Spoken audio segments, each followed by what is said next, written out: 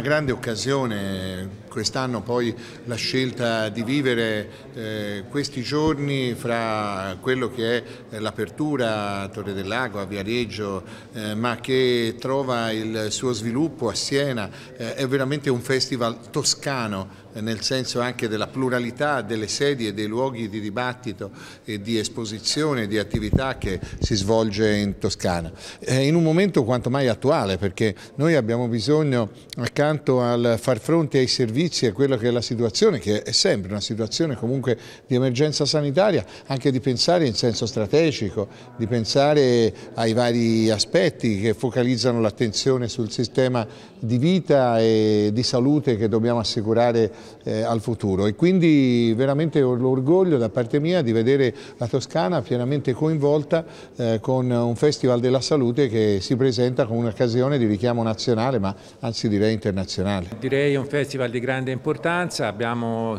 abbiamo deciso insieme alla mia giunta, è il secondo anno che noi facciamo questo Festival della Salute e, e l'assessore si è molto speso, l'assessore Apolloni si è molto speso per l'organizzazione del festival, credo che Siena come Viareggio del resto e anche come tutta la Toscana siano un'eccellenza per quanto riguarda la, la sanità e la salute perché